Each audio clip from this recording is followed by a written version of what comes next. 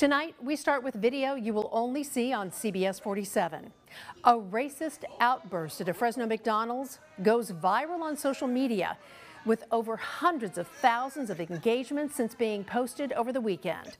And a man is being called a hero after stepping in when he says the woman was degrading McDonald's employees.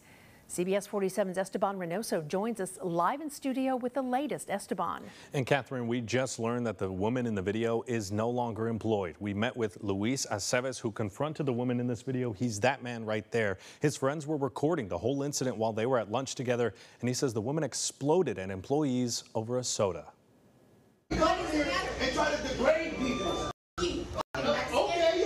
the this is video of a Central Valley woman using a racist term on a man at this McDonald's on Fresno and Shaw on Friday. The man in the video is Luis Aceves. His friends were recording the video that now has hundreds of thousands of views. Employees were already explaining that there was somebody cussing out them through the window, you know, through the drive-through window, and we, we overheard them too. It hit a point for you where it was like, I don't care what happens, I need to step in. Mm -hmm. Yeah, but then once she started like sitting there telling people, you know, oh, who are you? Look where you work. Look at look at what you're wearing. It's like you can even hear it in the video.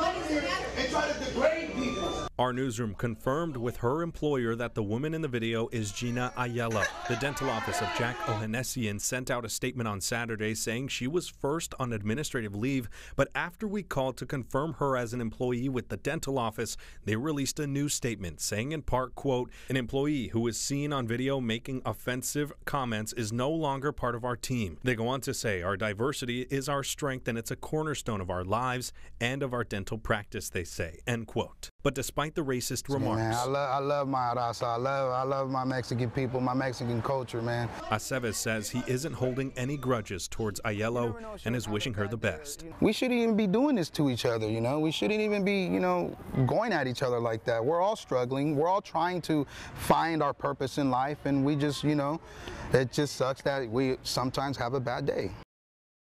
And today we tried to reach out to Mrs. Aiello through her phone number to get her side of this story, but she did not pick up our call. Live in the studio, Esteban Reynoso, CBS 47 Eyewitness News.